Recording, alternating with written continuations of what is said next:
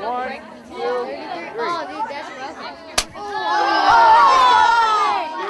It's called, aptly enough, the Egg Drop Project, and it challenges these students to build a protective device around a raw egg so it can withstand being dropped from 20 feet.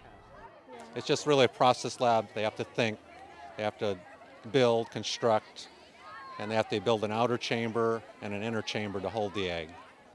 Some of the students were successful today, and most said they learned something. I learned that science is really tricky. I did a triangle with a smaller triangle in it held by rubber bands, and I dropped it and it cracked a little bit and a little bit was seeping out, but I think it did pretty good, and I think I'm getting a good grade on it. I made a box and like tied string like to the cone like on the side so it would like stay in place. Part of the goal here is to spark an interest in science. Science is hopefully fun for them, and it piques their interest and sets the tone for the rest of the year. Yeah, but see, I threw it off the table and then it broke.